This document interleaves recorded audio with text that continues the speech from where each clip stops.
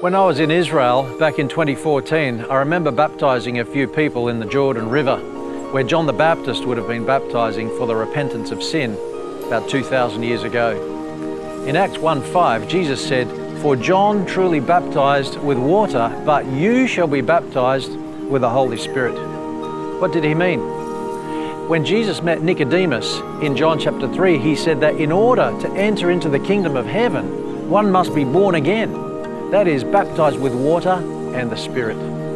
The experience of the New Testament church was that when a person accepted Jesus as Lord and Savior, they were both baptized by immersion and with the Holy Spirit. The Bible says that Jesus promised not to leave us as orphans. He said He would send us the Holy Spirit. So take courage. If you've accepted biblical truth and been baptized, you can have assurance of eternal life as you walk faithfully with the Lord. I'm Pastor Daniel for Parramatta Central, where the Bible is central to our message.